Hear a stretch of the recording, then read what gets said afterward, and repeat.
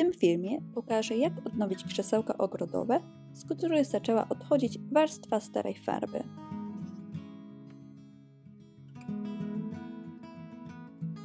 W tym filmie użyję farby mus typu F do malowania pierwszej warstwy, farbę typu RDM do nałożenia dwóch kolejnych warstw, zestawu pędzli, gąbek ściernych i zmywacza do farby.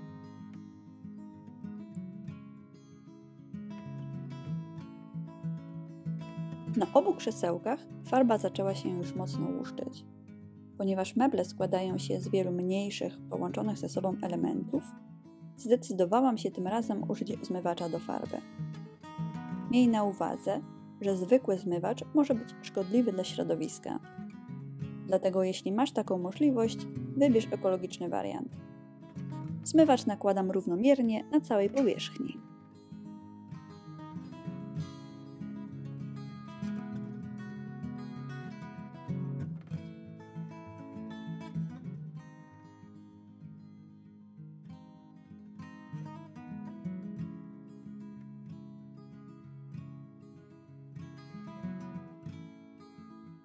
Po około 15 minutach przemywam krzesełka przy użyciu wody z mydłem lnianym.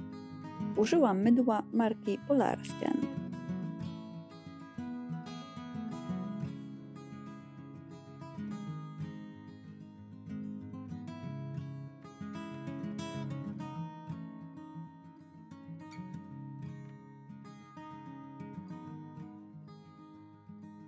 Przy użyciu myjki ciśnieniowej opłukuję krzesełka. Wysokie ciśnienie powoduje, że większość farby sama odejdzie w ten sposób od drewna. Dobrze sprawdź jednak ustawienia Twojego narzędzia, zanim go użyjesz, żeby mieć pewność, że nie uszkodzisz drewna.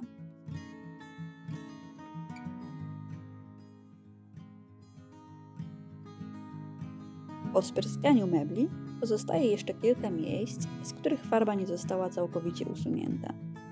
W takim wypadku można użyć papieru ściernego, po jego zastosowaniu możesz od razu malować powierzchnię farbą Mousse F. Ten typ farby przylega bowiem dobrze także do oszlifowanych powierzchni z resztkami poprzedniej warstwy. Ja jednak zdecydowałam się całkowicie oczyścić krzesła. Zawsze istnieje bowiem ryzyko, że w przyszłości stara farba zacznie się łuszczyć, przez to również nowa, wierzchnia warstwa ulegnie zuszczeniu. Wszystkie resztki pozostałe po szlifowaniu smłukuję wodą. Fakt, że drewno jest teraz nadal mokre, ma dwie zalety podczas malowania. Po pierwsze, drewno będzie lepiej wchłaniać farbę, a po drugie, nie muszę już jej rozcieńczać. W przypadku suchego drewna proponuję dodać do farby około 5-10% wody. Wlewam potrzebną mi ilość farby z wiaderka do mniejszej miski, Dzięki temu duży pojemnik z farbą pozostaje czysty i wolny od bakterii, które w przeciwnym razie roznosiłabym pędzlem. W ten sposób farba dłużej zachowa dobrą jakość. Najpierw nanoszę jedną warstwę farby mus typu F. Chcę pomalować krzesełka farbą typu RDM i potrzebuję podkładu. Farba mus typu F bardzo dobrze się do tego nadaje. Ważne jest, aby nanosić cienkie warstwy farby, nie chcesz nakładać zbyt wiele. Kiedy podkład dokładnie wyschnie, zabieram się za malowanie farbą typu RDM.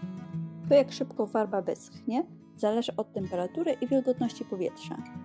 W moim wypadku warunki były sprzyjające, więc już po kilku godzinach mogłam nałożyć drugą warstwę. Pomalowałam krzesło dwiema warstwami farby mousse typu RDM.